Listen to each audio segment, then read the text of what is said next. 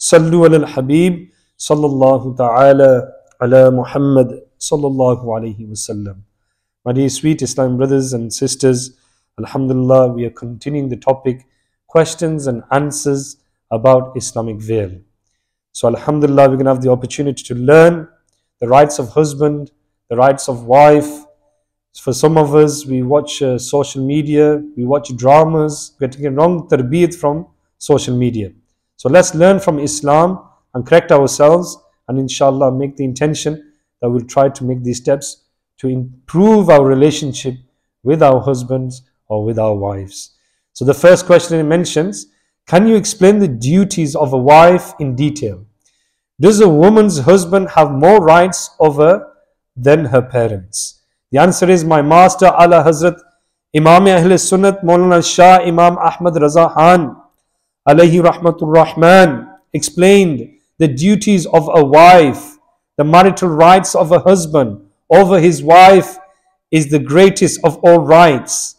After the rights of Allah Almighty and His beloved Prophet Sallallahu Alaihi Wasallam, it is even greater than her parents' rights.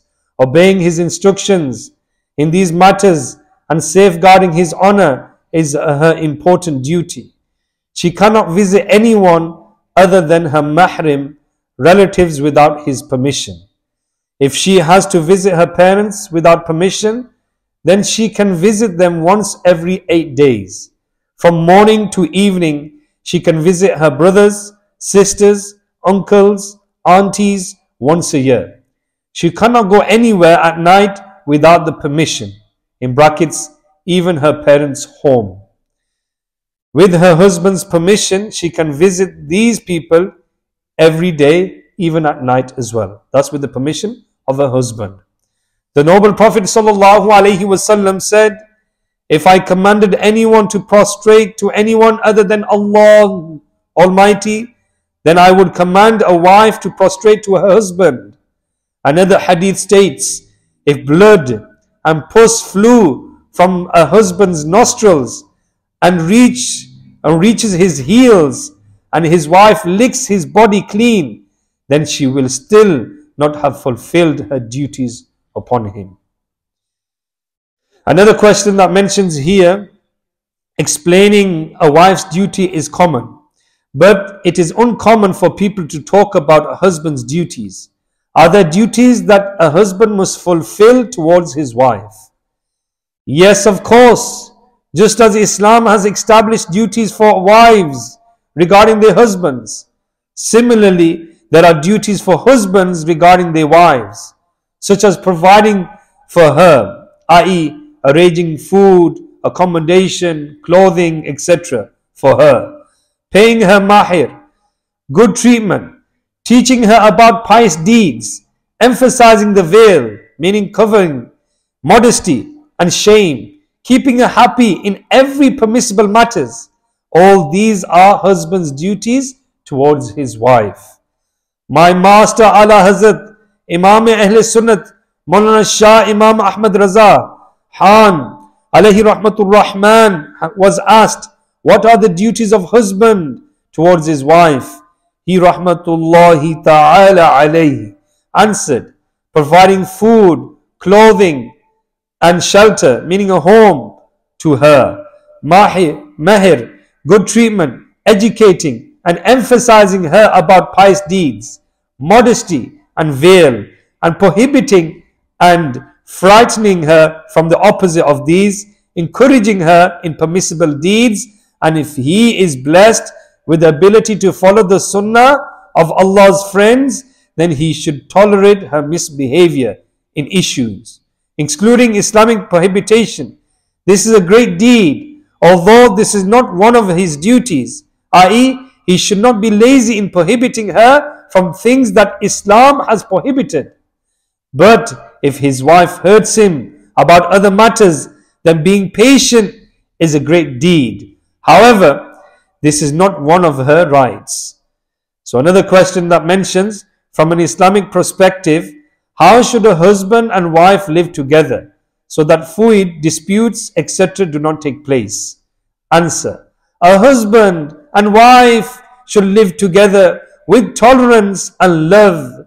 Both should be mindful of each other's rights and fulfill their individual duties. A husband should not treat his wife like a slave because even though Allah made husbands the master of their wives, He Azza wa Jal also said, وَعَاشِرُوهُنَّ بِالْمَعْرُوفِ and treat them with kindness. The revered and renowned Prophet sallallahu alaihi wasallam stated, "The good men amongst you are those who are good to their wives." A man should constantly advise his wife to do good deeds and teach her essential knowledge.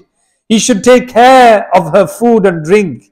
If he ever dislikes anything she does, he should be patient with her. If he reacts harshly, he might make her stubborn and make matters worse. Two sayings of Mustafa, and I'll finish there, inshallah. Number one, woman has been created from a rib. She can never be straightened for you. If you want to live with her, then live with her as she is. If you try to straighten her, you will break her. And breaking is divorce.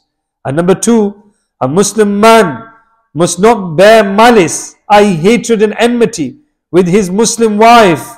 If he does not like any of her habits, then he will, he will like others. Then he will like another.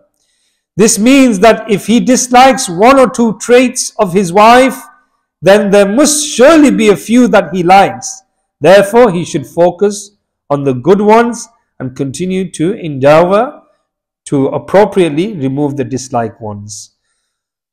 Sallu al Habib sallallahu ta'ala ala Muhammad sallallahu alayhi wasallam. May Allah grant us harmony and peace and grant us a Madani mahal in our homes.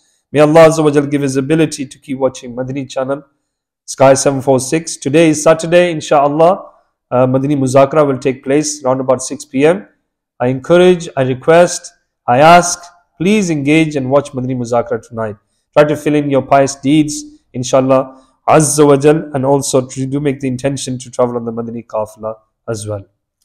Alhamdulillahi Rabbil Alameen, wa wassalamu ala Sayyidil Mursaleen. جزا الله عنا محمدا ما هو أهله بسم الله على ديني بسم الله على نفسي وولدي وأهلي ومالي O Allah Almighty accept our Salat al-Zuhr Ya Allah, forgive the mistakes of dars. Ya Allah Azawajal, the short dars that we have learned regarding the rights of husband, the rights of wife. Ya Allah Azawajal, make us good Muslims and give us the ability to abide by the Sharia and to follow the Sunnah of the beloved Rasul Sallallahu Alaihi Wasallam. Ya Allah Azawajal, if we have made any mistakes, we've committed sins against the rights of our wives, our husbands, we ask forgiveness from you and make us better Muslims to follow the Akuk Zawjain. O Allah Almighty, bless us with true Iman, bless us with protection of Iman, and grant us death with Iman. Bless our children, our youngsters, Ya Allah, those youngsters on the streets, Ya Allah, bring them towards the masjid. Give us ability to do to call the call to righteousness, to invite them towards the deen of Islam. And Ya Allah, bless our Muslim brothers around the globe as well. Those who have been oppressed, remove the oppression, raise the flag of Islam and guide the enemies of Islam. If there's no guidance for them, Ya Allah, remove them, disgrace them. Allah, protect Pakistan from all directions from the enemies of Islam Accept the du'as of the muqtadis, bless them. Ya Allah, accept their du'as, grant them good health, a long and pious life, and a life of ibadah. Sallallahu ta'ala ala Muhammad, sallallahu alayhi wa sallam. سبحان ربك رب العزة عما يصفون والسلام على المرسلين والحمد لله رب العالمين